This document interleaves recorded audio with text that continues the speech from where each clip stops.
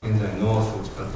動は停止をせざるを得ないというふうに考えているところでございます。札幌市が開いた意見交換会には経済界や競技団体競技会場のある自治体などが参加しました。冬季大会の開催候補地は IOC が先月2030年はフランスのアルプス地域34年はアメリカのソルトレークシティに一本化を決定しました。さらに38年はスイスと優先的に対話を進める方針も示されています。今日の意見交換会では札幌市から招致活動の停止が提案され参加者から理解が得られました。